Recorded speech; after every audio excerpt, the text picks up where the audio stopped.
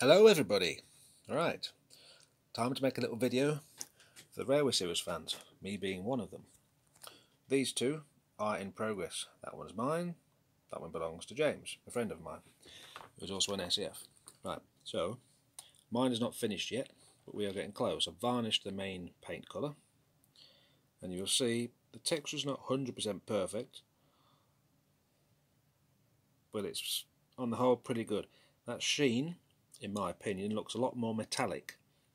Some people say varnishing, when you're glossing things, makes them look a bit toy and plastic like, and personally I think it looks better.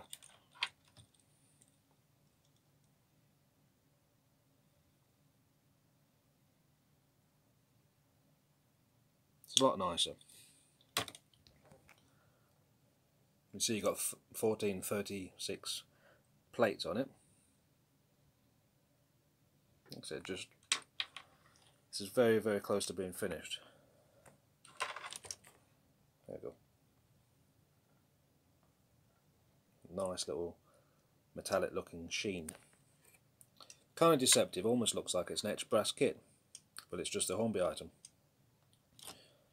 And this one, it's not been varnished yet and it's still being painted, so you see the, the finish looks different. But it's getting there. I had to repair um, a pipe on the cab. And I've had to replace the handrails there I need to add a I think it's a water pump not sure a little pip looking thing. So that's the Oliver Progresses. There's another Oliver Progress. This is a P4 chassis that I did not make. I actually bought it as a job lot from Sleeper Agent if you know who he is for those who don't know, P4 has wider wheels, thinner wheels, thinner flanges, wider track gauge, etc. And it wasn't running.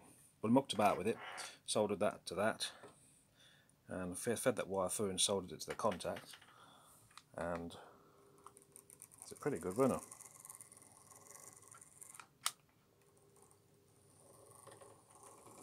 I also stripped the gears on it. There's only really one gear in a worm, and like a drive shaft. Uh, got some thinners, took out the old oil and grit and put new oil in, bent the wheels a bit because they were slightly buckled, I got almost a perfect runner.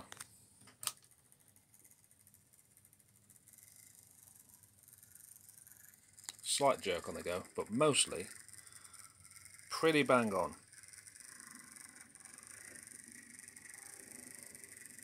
And this chassis should fit in that body. So that's bloody awesome. Right, so now to show you two that are finished. First of all, you have James's duck. Okay. Again, nice etched 5741 plates.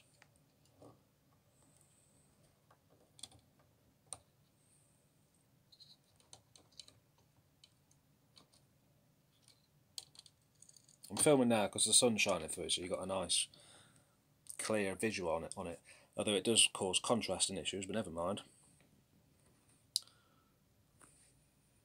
I'll give you a nice little look to it. I'll show you some still pictures at the end anyway. Yep. Real coal in the bunker.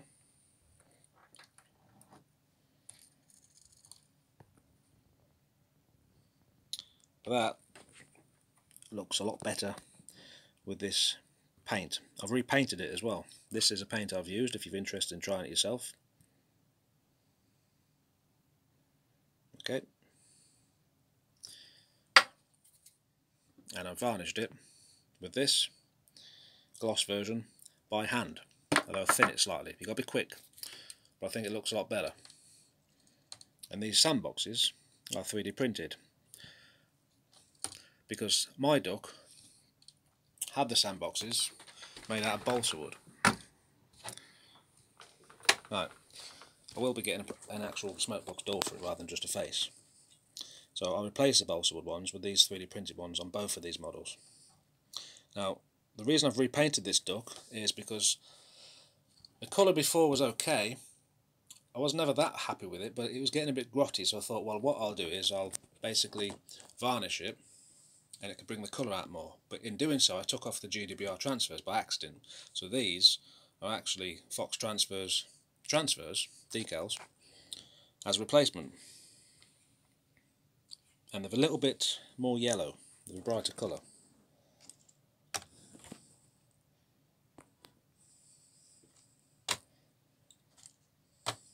So it's opinion what you prefer really. But there you go. A much nicer shade of green than the Bachmann one I had. Now James's Bachmann shade was different, but mine was more quite dull.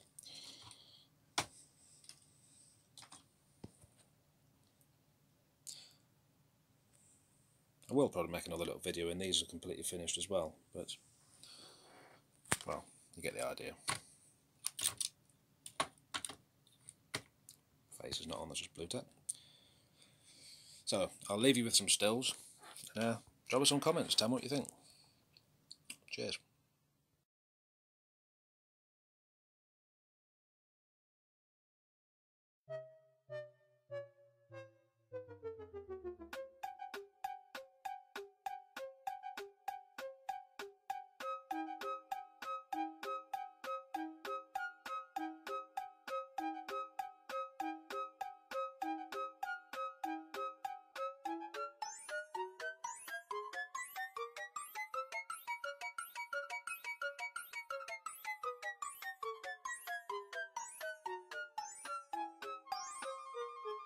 Música